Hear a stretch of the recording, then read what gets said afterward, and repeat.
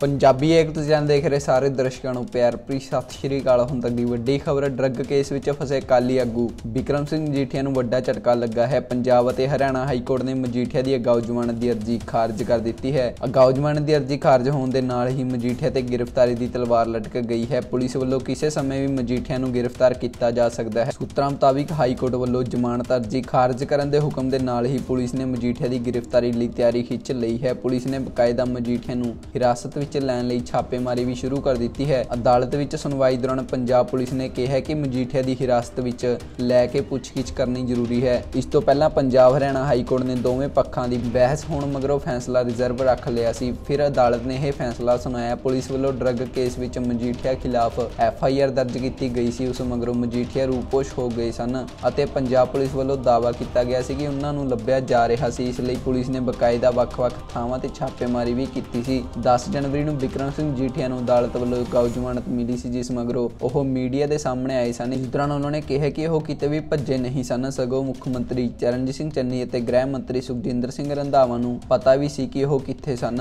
ਉਧਰ ਅਕਾਲੀ ਦਲ ਦਾ ਕਹਿਣਾ ਸੀ ਕਿ ਉਹਨਾਂ ਨੂੰ ਹਾਈ ਕੋਰਟ ਦਾ ਫੈਸਲਾ ਮਨਜ਼ੂਰ ਹੈ ਅਤੇ ਉਹਨਾਂ ਦੀ ਕਾਨੂੰਨੀ ਲੜਾਈ ਜਾਰੀ ਰਹੇਗੀ। ਪੰਜਾਬ ਕਾਂਗਰਸ ਦੇ ਪ੍ਰਧਾਨ ਨਵਜੋਤ ਸਿੰਘ ਸਿੱਧੂ ਨੇ ਦਿੱਲੀ ਦੇ ਮੁੱਖ ਮੰਤਰੀ ਅਰਵਿੰਦ ਕੇਜਰੀਵਾਲ ਨੂੰ ਫਰਜ਼ੀ ਖਬਰਾਂ ਦਾ ਮਾਸਟਰਮਾਈਂਡ ਦੱਸਿਆ ਹੈ। ਆਮ ਆਦਮੀ ਪਾਰਟੀ ਤੇ ਨਿਸ਼ਾਨਾ ਸਾਧਦੇ ਹੋਏ ਸਿੱਧੂ ਨੇ ਕਿਹਾ ਕਿ ਕੇਜਰੀਵਾਲ ਨੇ ਫੋਨ ਕਾਲਾਂ ਸੰਬੰਧੀ ਗਲਤ ਡਾਟਾ ਦਿੱਤਾ ਹੈ। 24 ਘੰਟਿਆਂ ਵਿੱਚ 5000 ਤੋਂ ਵੱਧ ਕਾਲਾਂ ਅਸੰਭਵ ਹਨ। ਤੁਹਾਡਾ ਮੁੱਖ ਮੰਤਰੀ ਦਾ ਚਿਹਰਾ ਘੁਟਾਲਾ ਹੈ। ਸਿੱਧੂ ਨੇ ਕਿਹਾ ਕਿ ਕੇਜਰੀਵਾਲ ਸੀਐਮ ਚਿਹਰੇ ਦੀ ਗੱਲ ਕਰ ਰਹੇ ਸਨ ਤੇ ਮੇਰਾ ਨਾਂ ਆ ਰਿਹਾ ਸੀ। ਦਿੱਲੀ ਦੇ ਮੁੱਖ ਮੰਤਰੀ ਝੂਠੇ ਰਿਕਾਰਡ ਪੇਸ਼ ਕਰ ਰਹੇ ਹਨ। ਚੋਣ ਕਮਿਸ਼ਨ ਨੂੰ ਸ਼ਿਕਾਇਤ ਭੇਜੀ ਗਈ ਹੈ ਅਤੇ ਮੈਂ ਇਹਨਾਂ ਸਾਰਿਆਂ ਦਾ ਪਰਦਾਫਾਸ਼ ਕਰਾਂਗਾ। ਉਹਨਾਂ ਨੇ ਕਿਹਾ ਕਿ ਮੈਂ ਪੰਜਾਬ ਦੇ ਲੋਕਾਂ ਨੂੰ ਗੁੰਮਰਾਹ ਨਹੀਂ ਹੋਣ ਦੇਵਾਂਗਾ ਸ਼੍ਰੋਮਣੀ ਅਕਾਲੀ ਦਲ ਦੇ ਪ੍ਰਧਾਨ ਸੁਖਬੀਰ ਸਿੰਘ ਬਾਦਲ ਨੇ ਪੰਜਾਬ ਦੇ ਡੀਜੀਪੀ ਚਟੋਪਾਧਿਆਏ ਤੇ ਚਰਨਜੀਤ ਸਿੰਘ ਚੰਨੀ ਤੇ ਹਮਲਾ ਬੋਲਿਆ ਹੈ। ਸੁਖਬੀਰ ਬਾਦਲ ਨੇ ਡੀਜੀਪੀ ਚਟੋਪਾਧਿਆਏ ਤੇ ਤਿੱਖਾ ਹਮਲਾ ਬੋਲਦੇ ਕਿਹਾ ਕਿ ਚਟੋਪਾਧਿਆਏ ਖੁਦ ਵੱਡਾ ਗੈਂਗਸਟਰ ਅਤੇ ਡਰੱਗ ਮਾਫੀਆ ਹੈ। ਸੁਖਬੀਰ ਬਾਦਲ ਨੇ ਕਿਹਾ ਕਿ ਵਿਕਰਮ ਸਿੰਘ ਮਜੀਠੀਆ ਤੇ ਕੇਸ ਵੀ ਚਟੋਪਾਧਿਆਏ ਨੇ ਹੀ ਦਰਜ ਕੀਤਾ ਹੈ। ਚਟੋਪਾਧਿਆਏ ਦੇ ਘਰ ਹੀ ਮਾਫੀਆ ਦੀ ਮੀਟਿੰਗ ਹੋਈ। ਚਟੋਪਾਧਿਆਏ ਨੂੰ ਤਾਂ ਜੇਲ੍ਹ 'ਚ ਹੋਣਾ ਚਾਹੀਦਾ ਹੈ। ਉਸੇ ਦੀ ਵਜ੍ਹਾ ਨਾਲ ਪ੍ਰਧਾਨ ਮੰਤਰੀ ਦੀ ਸੁਰੱਖਿਆ 'ਚ ਖਤਰਾ ਪੈਦਾ ਹੋਇਆ ਹੈ। ਚਰਨਜੀਤ ਸਿੰਘ ਚੰਨੀ ਨੂੰ ਘੇਰਦੇ ਹੋਏ ਬਾਦਲ ਨੇ ਕਿਹਾ ਕਿ ਚੰਨੀ ਦੇ ਉੱਪਰ ਸਿਰਫ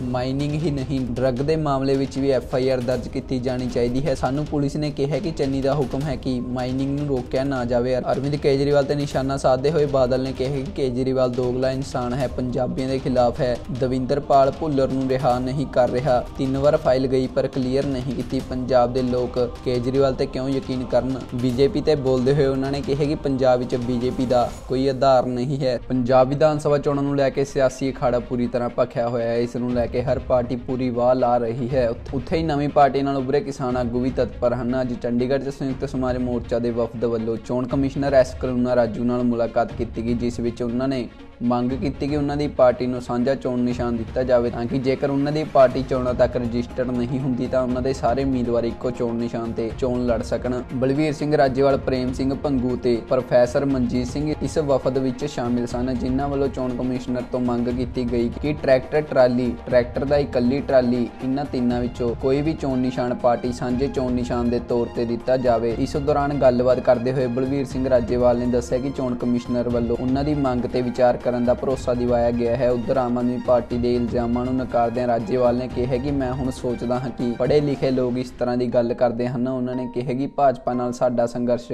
1 ਸਾਲ ਚੱਲਦਾ ਰਿਹਾ ਅਸੀਂ ਭਾਜਪਾ ਨੂੰ ਕਿਵੇਂ ਸਮਰਥਨ ਦੇ ਸਕਦੇ ਹਾਂ? ਟਿਕਟਾਂ ਦੀ ਵੰਡ ਨੂੰ ਲੈ ਕੇ ਜਵਾਬ ਦਿੰਦਿਆਂ ਉਹਨਾਂ ਨੇ ਕਿਹਾ ਕਿ ਕਿਸਾਨ ਪਾਰਟੀ ਵੱਲੋਂ ਉਹਨਾਂ ਸਾਰਿਆਂ ਨੂੰ ਟਿਕਟਾਂ ਦਿੱਤੀਆਂ ਜਾ ਰਹੀਆਂ ਹਨ, ਜੋ ਵੱਖ-ਵੱਖ ਸਮਾਜਾਂ ਤੋਂ ਆਉਂਦੇ ਹਨ। ਅਸੀਂ ਕਿਸੇ ਬਾਹਰੀ ਪਾਰਟੀ ਦੇ ਉਮੀਦਵਾਰ ਨੂੰ ਸੀਟ ਨਹੀਂ ਦੇ ਰਹੇ ਹਾਂ। ਰਾਜੇਵਾਲ ਨੇ ਕਿਹਾ ਕਿ ਲੱਖਾਂ ਸਿਧਾਣਾ ਦੇ ਪਿੱਛੇ ਬਹੁਤ ਲੋਕ ਸਨ ਜਿਸ ਕਰਕੇ ਉਸ ਨੂੰ ਮੋੜ ਮੰਡੀ ਤੋਂ ਟਿਕਟ ਦਿੱਤੀ ਗਈ ਤੇ ਉਹ ਜਿੱਤ ਕੇ ਜ਼ਰੂਰ ਆਉਣਗੇ। ਸਤਿ ਸ਼੍ਰੀ ਅਕਾਲ ਜੀ। ਫਾਦਰ ਲਈ ਕੰਪੇਨਿੰਗ ਕਰ ਰਹੇ ਹੋ ਕਿਸ ਤਰ੍ਹਾਂ ਲੱਗਦਾ ਹੈ? ਬਹੁਤ ਵਧੀਆ ਲੱਗ ਰਿਹਾ ਜਿੰਨਾ ਪਿਛਲੇ 10 ਸਾਲਾਂ 'ਚ ਸਾਨੂੰ ਗਿੱਦੜਵਾ ਦੇ ਲੋਕਾਂ ਨੇ ਪਿਆਰ ਦਿੱਤਾ ਹੈ ਪਾਪਾ ਨੂੰ ਜਿੰਨਾ ਪਿਆਰ ਦਿੱਤਾ ਹੈ ਉਸ ਤੋਂ ਇਸ ਵਾਰੀ ਮੈਨੂੰ ਲੱਗਦਾ ਹੈ ਵੱਧ ਕੇ ਹੀ ਦੇਣਗੇ।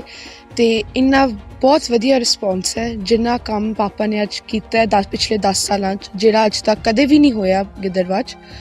ਉਹ ਹੁਣ ਕੰਮ ਵਾਪਸ ਸਾਨੂੰ ਕੰਮ ਦਾ ਫਲ ਸਾਨੂੰ ਮਿਲ ਰਿਹਾ ਹੈ। ਲੋਕਾਂ ਲੋਕੀ ਕੰਮ ਨੂੰ ਵੋਟ ਪਾ ਰਹੇ ਹੈ ਜਿੰਨਾ ਕੰਮ ਹੋਇਆ ਹੈ ਉਹ ਲੋਕੀ ਉਹਨੂੰ ਵੇਖ ਕੇ ਵੋਟ ਪਾ ਰਹੇ ਹੈ। ਪਾਪਾ ਨੂੰ ਤਾਂ ਲੋਕੀ ਪਾ ਹੀ ਰਹੇ ਨੇ ਪਰ ਕੰਮ ਨੂੰ ਵੱਧ ਕੇ ਪਾ ਰਹੇ ਨੇ ਵੋਟ। ਛੋਟੀ ਉਮਰ ਤੇ ਪ੍ਰਚਾਰ ਕਰ ਰਹੇ ਹੋ ਪਾਪਾ ਦੇ ਕਿਸ ਤਰ੍ਹਾਂ ਲੱਗ ਰਿਹਾ ਹੈ ਕਿਸ ਤਰ੍ਹਾਂ ਰਿਸਪੌਂਸ ਤੁਹਾਨੂੰ? ਔਰ ਛੋਟੀ ਉਮਰ ਕਰਨਾ ਜਾਂ ਵੱਡੀ ਉਮਰ 'ਚ ਕਰਨਾ ਮੈਨੂੰ ਲੱਗਦਾ ਹੈ ਜਿੱਥੇ ਮੇਰੇ ਪਾਪਾ ਨੂੰ ਲੋੜ ਹੈ ਮੇਰੀ ਜਾਂ ਮੇਰੇ ਮੇਰੇ ਬ੍ਰਦਰ ਦੀ ਅਸੀਂ ਉੱਥੇ ਹਮੇਸ਼ਾ ਤੋਂ ਖੜੇ ਆ ਕੋਈ ਏਜ ਮੈਟਰ ਨਹੀਂ ਕਰਦੀ ਜਿੱਥੇ ਮੇਰੇ ਪਾਪਾ ਦੀ ਫੈਮਿਲੀ ਅਸੀਂ ਅਸੀਂ ਬਹੁਤ ਜ਼ਿਆਦਾ ਜਾਣੇ ਨਹੀਂ ਹੈ ਆਪਦੀ ਫੈਮਿਲੀ 'ਚ। ਤਾਂ ਜਿੰਨੇ ਲੋਕੀ ਅਸੀਂ ਆ ਸਕਦੇ ਹਾਂ ਜਿੰਨੀ ਫੈਮਿਲੀ ਦੀ ਅਸੀਂ ਆ ਸਕਦੇ ਹਾਂ ਅਸੀਂ ਪੂਰੀ ਆਪਦੀ ਟਰਾਈ ਕਰਦੇ ਹਾਂ ਅਸੀਂ ਆਈਏ। ਐਮਪੀ ਇਲੈਕਸ਼ਨਸ ਵੇਲੇ ਵੀ ਤੁਹਾਡੇ ਵੱਲੋਂ ਸਪੋਰਟ ਫੁੱਲ ਕੀਤੀ ਗਈ ਸੀ? ਹੁਣ ਕਿਸ ਤਰ੍ਹਾਂ ਦਾ ਹੁੰਗਾਰਾ? ਪਹਿਲਾਂ ਵੀ ਹੁੰਗਾਰਾ ਬਹੁਤ ਮਿਲਿਆ ਪੂਰਾ ਜੀ ਕੋਈ ਵੀ ਸਾਨੂੰ ਮੈਂ ਤੁਹਾਨੂੰ ਜਿਵੇਂ ਪਹਿਲਾਂ ਕਿਹਾ ਕਿ ਸਾਨੂੰ ਕੋਈ ਵੀ 네ਗੇਟਿਵ ਰਿਸਪੌਂਸ ਹਜੇ ਤੱਕ ਨਹੀਂ ਮਿਲਿਆ। ਮੈਂ ਹਰ ਬੰਦੇ ਦੇ ਘਰੇ ਜਾਣੀ ਹੈ who belongs to every party Har party ਦੇ ਬੰਦੇ ਕੋਲੇ ਮੈਨੂੰ ਕਿਸੇ ਵੀ ਬੰਦੇ ਕੋਲੋਂ ਪਰ ਗੰਦਾ ਰਿਸਪੌਂਸ ਨਹੀਂ ਮਿਲਿਆ ਕਿਸੇ ਹੋਰ ਪਾਰਟੀ ਦੇ 네ਗੇਟਿਵ ਵੀ ਨਹੀਂ ਮਿਲਿਆ। ਤੁਹਾਨੂੰ ਕਿਸ ਤਰ੍ਹਾਂ ਮਹਿਸੂਸ ਹੋ ਰਿਹਾ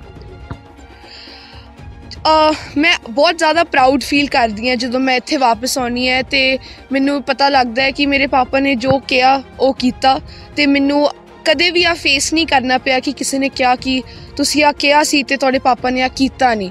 ਮੈਨੂੰ ਬਹੁਤ ਜ਼ਿਆਦਾ ਪ੍ਰਾਊਡ ਹੁੰਦਾ ਹੈ ਕਿ ਜੋ ਇਹਨਾਂ ਨੇ ਕਿਹਾ ਹਾ ਉਹ ਕੀਤਾ ਤੇ ਮੈਂ ਉਸੇ ਵਾਪਸ ਉਹੀ ਕਹਿ ਕੇ ਆਨੀ ਹੈ ਕਿ ਜੋ ਅੱਜ ਆਪਾਂ ਫੇਰ ਕਵਾਂਗੇ, ਅਸੀਂ ਉਹੀ ਫੇਰ ਕਰਾਂਗੇ। ਪੰਜਾਬ ਦੇ ਸਾਬਕਾ ਮੁੱਖ ਮੰਤਰੀ ਪ੍ਰਕਾਸ਼ ਸਿੰਘ ਬਾਦਲ ਕਰੋਨਾ ਦੇ ਨਵੇਂ ਰੂਪ ਓਮਿਕਰੋਨ ਪੀੜਤ ਪਾਏ ਗਏ ਹਨ। ਉਹਨਾਂ ਦੀ ਜੀਨੋਮ ਸੀਕਵੈਸਿੰਗ ਦੀ ਰਿਪੋਰਟ ਵਿੱਚ ਓਮਿਕਰੋਨ ਵੇਰੀਐਂਟ ਤੋਂ ਪੀੜਤ ਹੋਣ ਦੀ ਪੁਸ਼ਟੀ ਹੋਈ ਹੈ। ਫਿਲਹਾਲ ਡਾਕਟਰਾਂ ਵੱਲੋਂ ਉਹਨਾਂ ਦੀ ਹਾਲਤ ਨੂੰ ਠੀਕ ਦੱਸਿਆ ਗਿਆ ਹੈ। ਡਾਕਟਰਾਂ ਦਾ ਕਹਿਣਾ ਹੈ ਕਿ ਪ੍ਰਕਾਸ਼ ਸਿੰਘ ਬਾਦਲ ਨੂੰ ਐਤਵਾਰ ਨੂੰ ਥੋੜਾ ਬੁਖਾਰ ਸੀ। ਇਸ ਤੋਂ ਇਲਾਵਾ ਉਹਨਾਂ ਨੂੰ ਗਲਾ ਖਰਾਬ ਤੇ ਖੰਘ ਦੀ ਵੀ ਸ਼ਿਕਾਇਤ ਹੈ, ਜਿਸ ਕਾਰਨ ਹੁਣ ਉਹਨਾਂ ਨੂੰ ਕੁਝ ਦਿਨ ਹੋਰ ਆਈਸੀਯੂ ਵਿੱਚ ਰੱਖਿਆ ਜਾਵੇਗਾ। ਦੱਸ ਦਈਏ ਹਾਲ ਹੀ ਵਿੱਚ ਸਾਬਕਾ ਮੁੱਖ ਮੰਤਰੀ ਪ੍ਰਕਾਸ਼ ਸਿੰਘ ਬਾਦਲ ਦੀ ਰਿਪੋਰਟ, ਕਰੋਨਾ ਰਿਪੋਰਟ ਪੋਜ਼ਿਟਿਵ ਆਈ ਸੀ, ਜਿਸ ਤੋਂ ਬਾਅਦ ਉਹਨਾਂ ਨੂੰ ਲੁਧਿਆਣਾ ਦੇ ਡੀਐਮਸੀ ਹਸਪਤਾਲ ਵਿੱਚ ਦਾਖਲ ਕਰਵਾਇਆ ਗਿਆ ਸੀ। ਡੀਐਮਸੀ ਹੀਰੋ ਹਾਰਟ ਇੰਸਟੀਚਿਊਟ ਦੇ ਸੀਨੀਅਰ ਡਾਕਟਰ ਬਿਸ਼ਮ ਮੋਹਨ ਨੇ ਉਹਨਾਂ ਦੇ ਕਰੋਨਾ ਪੋਜ਼ਿਟਿਵ ਹੋਣ ਦੀ ਪੁਸ਼ਟੀ ਕੀਤੀ ਸੀ ਅਤੇ ਦੱਸਿਆ ਸੀ ਕਿ ਉਹਨਾਂ ਨੂੰ ਹਸਪਤਾਲ ਵਿੱਚ ਭਰਤੀ ਕਰਵਾਇਆ ਗਿਆ ਹੈ। ਵਿਧਾਨ ਸਭਾ ਚੋਣਾਂ ਦੌਰਾਨ ਕਰੋਨਾ ਵਾਇਰਸ ਮਹਾਮਾਰੀ ਦੇ ਮੱਦੇਨਜ਼ਰ ਚੋਣ ਕਮਿਸ਼ਨ ਨੇ ਰੈਲੀਆਂ ਤੇ ਜਨਤਕ ਮੀਟਿੰਗਾਂ ਨੂੰ ਲੈ ਕੇ ਦਿਸ਼ਾ ਨਿਰਦੇਸ਼ ਜਾਰੀ ਕੀਤੇ ਹਨ, ਪਰ ਇੱਕ ਤੋਂ ਬਾਅਦ ਇੱਕ ਅਜਿਹੀਆਂ ਖਬਰਾਂ ਆ ਰਹੀਆਂ ਹਨ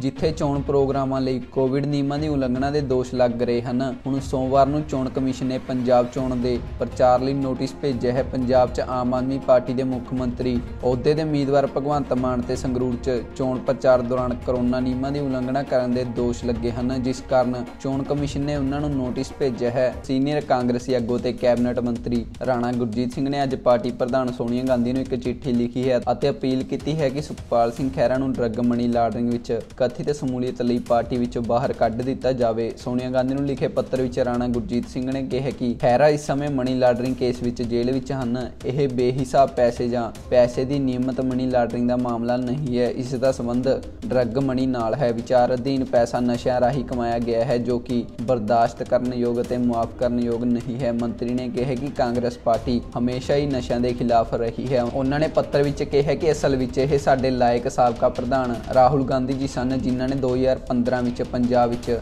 ਨਸ਼ਾ ਦੀ ਗੰਭੀਰ ਸਮੱਸਿਆ ਦਾ ਜ਼ਿਕਰ ਕਰਕੇ ਇਸ ਮੁੱਦੇ ਨੂੰ ਹਰੀ ਝੰਡੀ ਦਿੱਤੀ ਸੀ ਜਿਸ ਵਿਅਕਤੀ ਤੇ ਨਸ਼ੇ ਦੇ ਇਲਜ਼ਾਮ ਲੱਗੇ ਹੋਣ, ਸਾਡੀ ਪਾਰਟੀ ਅਜਿਹੇ ਵਿਅਕਤੀ ਨੂੰ ਟਿਕਟ ਕਿਵੇਂ ਦੇ ਸਕਦੀ ਹੈ? ਕਾਂਗਰਸੀ ਨੇਤਾਵਾਂ ਅਤੇ ਉਮੀਦਵਾਰਾਂ ਲਈ ਇਹ ਮੁਸ਼ਕਿਲ ਹੋਵੇਗਾ ਕਿ ਇੱਕ ਪਾਸੇ ਅਸੀਂ ਸਹੁੰ ਚੁੱਕੀ ਹੈ ਕਿ ਅਸੀਂ ਨਸ਼ਿਆਂ ਨੂੰ ਖਤਮ ਕਰਾਂਗੇ ਤੇ ਦੂਜੇ ਪਾਸੇ ਇੱਕ ਦਾਗੀ ਵਿਅਕਤੀ ਨੂੰ ਪਾਰਟੀ ਟਿਕਟ ਦੇ ਰਹੀ ਹੈ ਜੋ ਪੈਸੇ ਦੇ ਦੋਸ਼ ਵਿੱਚ ਜੇਲ੍ਹ ਵਿੱਚ ਹੈ। ਉਹ ਪੈਸਾ ਜੋ ਉਸਨੇ ਨਸ਼ਿਆਂ ਤੋਂ ਇਕੱਠਾ ਕੀਤਾ ਸੀ। ਰਾਣਾ ਗੁਰਜੀਤ ਸਿੰਘ ਨੇ ਕਿਹਾ ਕਿ ਹੁਣ ਸਮਾਂ ਆ ਗਿਆ ਹੈ ਕਿ ਕਾਂਗਰਸ ਪਾਰਟੀ ਨਸ਼ਿਆਂ ਦੇ ਮੁੱਦੇ ਤੇ ਸਟੈਂਡ ਲਵੇ ਅਤੇ ਜੋ ਦਾਗੀ ਹੈ ਅਤੇ ਇਸ ਦੋਸ਼ 'ਚ ਜੇਲ੍ਹ 'ਚ ਹੈ ਉਸ ਨੂੰ ਪਾਰਟੀ ਵੱਲੋਂ ਟਿਕਟ ਨਹੀਂ ਮਿਲਣੀ ਚਾਹੀਦੀ। ਉਹਨਾਂ ਨੇ ਕਿਹਾ ਕਿ ਉਹਨਾਂ ਨੂੰ ਜਾਂ ਉਹਨਾਂ ਦੇ ਪਰਿਵਾਰ ਦੇ ਕਿਸੇ ਵੀ ਮੈਂਬਰ ਨੂੰ ਟਿਕਟ ਨਾ ਸਿਰਫ ਗਲਤ ਸੰਕੇਤ ਦੇਵੇਗੀ, ਸਗੋਂ ਇਸ ਦਾ ਮਤਲਬ ਇੱਕ ਅਹਿਮ ਚੋਣ ਦੌਰਾਨ ਅਤੇ ਇੱਕ ਕੀਮਤੀ ਹਲਕੇ ਨੂੰ ਬਰਬਾਦ ਕਰਨਾ ਵੀ ਹੋਵੇਗਾ। ਉਹਨਾਂ ਨੇ ਦਾਅਵਾ ਕੀਤਾ ਕਿ ਇੱਕ ਵਫਾਦਾਰ ਅਤੇ ਨਿਮਰ ਕਾਂਗਰਸੀ ਹੋਣ ਦੇ ਨਾਤੇ ਜਿਸ ਨੇ ਪਿਛਲੇ ਦੋ ਦਹਾਕਿਆਂ ਤੋਂ ਲੋਕ ਸਭਾ ਤੇ ਵਿਧਾਨ ਸਭਾ ਵਿੱਚ ਕਾਂਗਰਸ ਦੀਆਂ ਨੀਤੀਆਂ, ਸਿਧਾਂਤਾਂ ਅਤੇ ਆਦਰਸ਼ਾਂ ਨੂੰ ਪੇਸ਼ ਕੀਤਾ ਅਤੇ ਰੱਖਿਆ ਹੈ, ਉਹ ਉਹਨਾਂ ਦੀ ਪਾਰਟੀ ਵਿੱਚ ਜੋ ਕੁਝ ਹੋ ਰਿਹਾ ਹੈ, ਉਸ ਤੋਂ ਅੱਖੋਂ ਪਰੋਖੇ ਨਹੀਂ ਕਰ ਸਕਦੇ। ਉਹਨਾਂ ਨੇ ਕਿਹਾ ਕਿ ਕਾਂਗਰਸ ਦਾ ਵਫਾਦਾਰ ਸਿਪਾਹੀ ਹੋਣ ਦੇ ਨਾਤੇ ਮੈਂ ਕਿਸੇ ਵੀ ਦਾਗੀ ਵਿਅਕਤੀ ਨੂੰ ਪਾਰਟੀ ਦਾ ਹਿੱਸਾ ਬਣਦਾ ਨਹੀਂ ਦੇਖ ਸਕਦਾ। ਉਹ ਵੀ ਉਸ ਦੇ ਵਿਧਾਨ ਸਭਾ ਹਲਕੇ ਦੇ ਗੁਆਂਢ ਵਿੱਚ ਤਾਂ